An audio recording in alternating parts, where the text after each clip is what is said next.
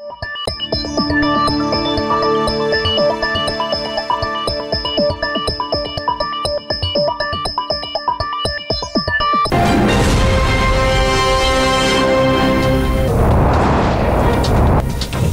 Итоги уходящего вторника подводят наши корреспонденты. Я Максим Кембель. Смотрите сейчас. Маленькая карта вместо 32 страниц. В Беларуси начали изготавливать биометрические документы. На первых этапах мы сталкивались с единичными случаями недочетов в наладке оборудования. Сколько человек обратилось, исправляется ли система? На сухую не клюет. В Быхове мужчина не смог выбраться с берега озера. Благо, помогли инспекторы ГАИ. Какой штраф теперь придется заплатить водителю и сколько он будет ходить пешком? Жесткая посадка. Хоккейный клуб «Абруск-2» в двухматчевом противостоянии уничтожил барановичский авиатор. Должны были реабилитироваться после неудачной серии выездной.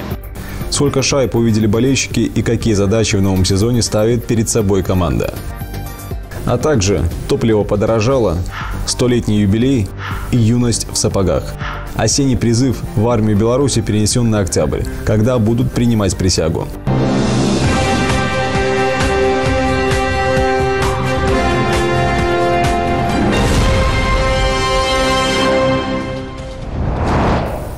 Минздрав Беларуси обновил статистику по COVID-19. За минувшие сутки зафиксировано 1419 пациентов с положительным тестом на коронавирус. Всего с начала пандемии заразились почти 494 тысячи человек. Белтамош-сервис впервые принял на хранение вакцину против COVID-19. Склады ведущего логистического оператора позволяют содержать в надлежащих условиях все лекарства. Также компания, одна из первых в республике, получила подтверждение, что ее помещение соответствует высоким международным стандартам. Напомним, груз китайским препаратом в Беларусь доставлен из Пекина 5 сентября. Рыбаки уже не те. В Быхове задержали очередного пьяного за рулем. В центре города водитель под градусом пытается уехать с берега озера безрезультативно. Такое сообщение поступило в дежурную часть милиции. Прибыв на место, сотрудники ГАИ задержали местного жителя. Порыбачил, выпил и собирался домой. На личном авто. 1,3 промилле – результат освидетельствования. Итог – штраф в размере 5800 рублей и лишение прав на 5 лет.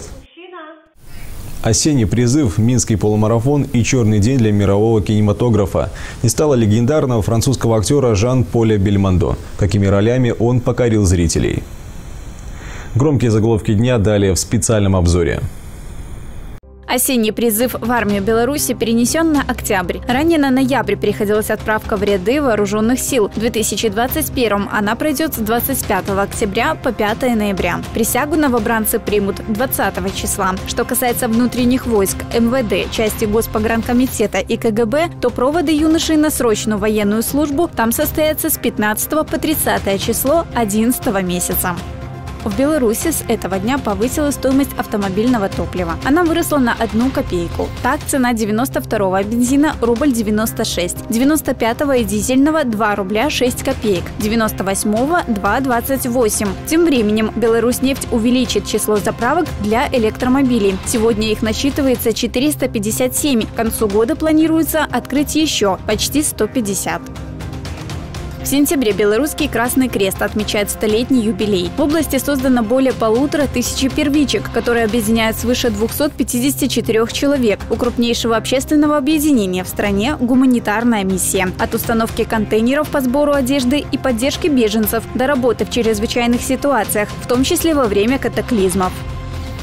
Минский полумарафон состоится уже в это воскресенье. Все участники, которые зарегистрировались год назад, смогут без проблем пробежать выбранную дистанцию. Их, как обычно, будет три. К слову, на 21,5 и 5,5 километров свободных мест уже нет. Доступно лишь 10,5. Из-за коронавируса количество спортсменов ограничено. Смогут выступать не более 10 тысяч. Еще больше информации на сайте и в мобильном приложении турнира не стало Жан-Поля Бельмондо, легендарный французский актер, любимец миллионов. Он сыграл почти сотню ролей в кино. Хотя в начале карьеры его внешность считали не экранной, бунтарь с неотразимой улыбкой и бесконечным обаянием. Бельмондо был одинаково органичен и в комедиях, и в боевиках, и в артхаусном кино.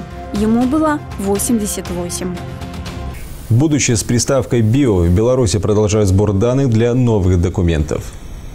Только в первый день за получением ID-карты в органы внутренних дел обратились более 300 желающих. За биометрическим паспортом 270 граждан. За видом на жительство около 200 иностранцев. На сегодняшний момент уже принято более 3000 заявок. Подобные также появились в дипломатических и консульских учреждениях Беларуси за границей. Каких-либо серьезных нареканий система для сбора биометрических данных у граждан не вызвала. На первых этапах мы сталкивались с единичными случаями недочетов в наладке оборудования и программного обеспечения на местах. Однако это нормальные рабочие моменты при введении столь сложных и многовекторных информационных комплексов. Выдача ID-карты обойдется в 43,5 рубля. Стоимость биометрического паспорта – 58. Для их получения необходимо обратиться в подразделение по гражданству миграции по месту регистрации. К слову, менять действующие документы не обязательно. Неудачная посадка. Хоккейный клуб «Бобруйс-2» вернулся на домашний лед. Очередным соперником бобручан стал барановичский авиатор. На протяжении всей встречи бобры доминировали. Какие цифры на табло зафиксировала финальная сирена и какая атмосфера царит внутри коллектива? Все подробности в нашем следующем материале. После небольшого перерыва хоккей возвращается в Бобруйск. Официально. Местная команда прописку не сменила, продолжает свое выступление в высшей лиге. Начало нового сезона получилось смазанным. Два подряд поражения от могилевских хоккеистов. Начало сезона очень нестабильно идет. Там э, тоже счет э, не по игре. Есть первых два периода в Могилеве, что в первой, что во второй игре была хорошая игра, было много моментов, которые можно было реализовывать и выходить вперед. Но это не шло. Э, пару пропущенных ненужных голов, руки опустились.